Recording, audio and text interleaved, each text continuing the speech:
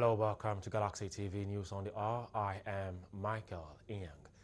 University students protesting the seven-month industrial action by the Academic Staff Union of Universities on Monday morning blocked a section of the access road to the Murtala Mohammed International Airport in Lagos.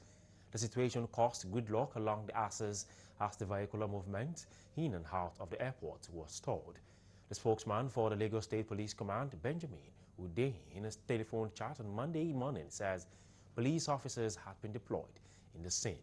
Recall that members of the National Association of Nigerian Students threatening to ground activities at the local and international airport across the country effective today as part of efforts to drive home their demand that the ASUU strike is called off.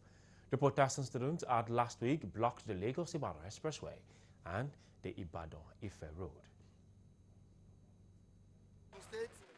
Before now, we were also at uh, Ibadan Shagam Expressway to, to block uh, to block uh, Oyo State. We also at Gogon Ife Expressway to block uh, Osun State Federal es uh, Expressway.